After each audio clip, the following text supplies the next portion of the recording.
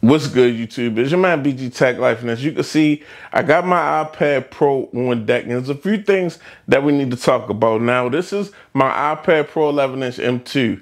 I haven't utilized this in a while. I used to use it for video editing, but I stopped using it for video editing, so it's kind of been sitting on the shelf. Now I have a new interest in iPads. You know, WWDC 25 is going on, and we got a lot of new software things going on. We got iPad OS 26, the beta, and there's some things that we need to talk about. So let's get into it.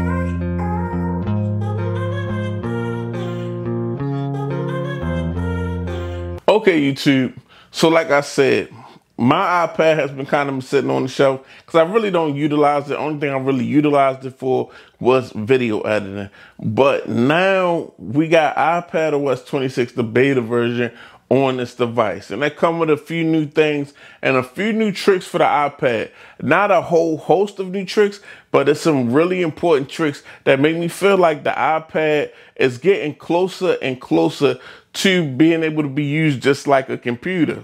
Now, also with iPad OS 26, the beta version, we got the liquid glass UI. So it's just a new look where Apple just want things to have a, a liquid glass, more magnified type look. If I pull up this folder, you'll see like the liquid glass type look. And I feel like Apple is dialing it in because I'm not sure if the transparency in the background or the blur in the background, or maybe they got a dark in the background, because I feel like with some of this liquid glass stuff, the things that I need to see just don't pop enough. That's why you don't see it on my iPhone right now. And even if we swipe down to like these controls right here, it, it's just like, it looks like a jumble of stuff between the, the actual apps in the background and the actual control center, it just doesn't look very, very good to me. But that's not the big thing to me. As far I know the app will get that right, and you know the aesthetics will come together. It's very, very early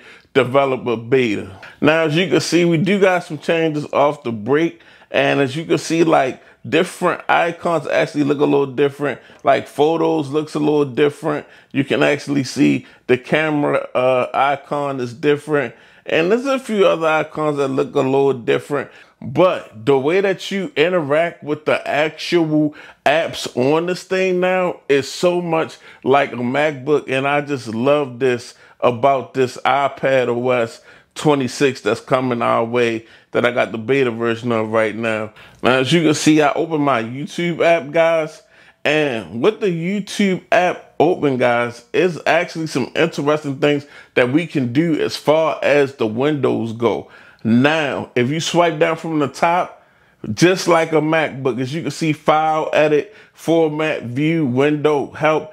That's very dope. And then also, we got these three little buttons, exit out, minimize, and then resize. So I open YouTube and as you can see, I had it open and I just had it open as a window. I feel like that's dope. I can do what I want. I can resize this actual YouTube window. Now I could also take it and drop it over here and make it half size. Just go ahead and exit out, which is very dope and you could deal with all the apps on the iPad like this, and at the same time, you can have as many apps as you want open.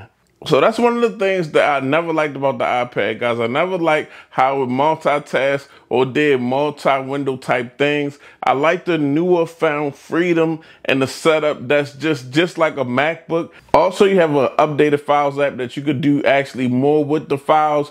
You can actually dock specific folders and make it easier to get to them. But yeah, with a couple of fixes, especially the way we deal with multitasking and multiple windows on the iPad, I'm definitely looking at this more of a laptop and I'm ready to get to back to using this a little bit more because I can use it the way that I want to use it. And that's kind of just like a computer. There's a couple other features where you can actually select mic inputs and things of that nature.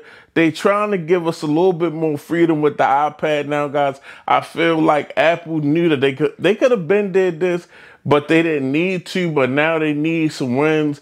They need some actual innovation because people are kind of on their necks. So while the iPhone is actually a little bit more of a difficult situation for them to figure out, They know exactly what to do with the iPad, but be advised, this is definitely beta, beta software.